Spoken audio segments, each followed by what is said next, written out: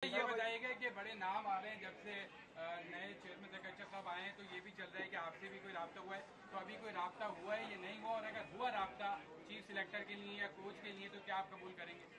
नहीं, अभी कोई रबता नहीं हुआ।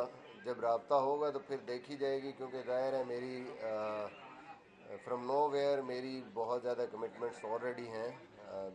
लीग्स में भी हैं टीवी के साथ भी हैं। तो आसान नहीं होता आपके लिए कि अचानक आप किसी चीज़ को इस तरीके से एक्सेप्ट करें। देखना पड़ेगा कि जब बात होगी तो कि क्या रोल है, किस तरीके से मैं कर भी सकता हूँ कि नहीं कर सकता।